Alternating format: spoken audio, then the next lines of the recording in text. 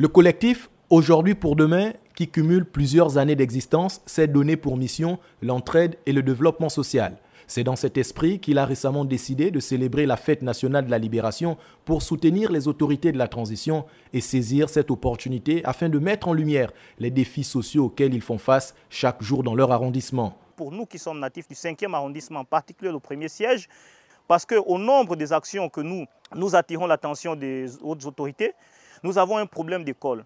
Or, à ce jour, nous voulons que cette transition soit une transition objective dans notre cinquième arrondissement, en ce sens que les projets qui sont initiés sur tout le territoire national touchent également le cinquième.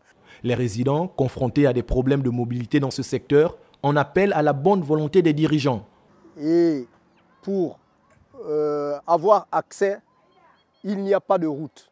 Nous-mêmes, nous, on a créé des routes, comme vous voyez, et quand euh, en saison, on a un peu l'accès, mais en saison de pluie, on n'a plus d'accès. Contrairement à d'autres localités qui se réjouissent des routes bétonnées dont elles bénéficient depuis l'arrivée du CTRI, avec l'arrivée des pluies dans le 5e, on redoute de revivre les nuits d'insomnie à cause des inondations. Nous avons un cas d'inondation. C'est généralement en saison pluvieuse, surtout quand nous approchons la période, nous craignons pour des familles qui risquent d'être encore victimes du retour de ces saisons de pluie.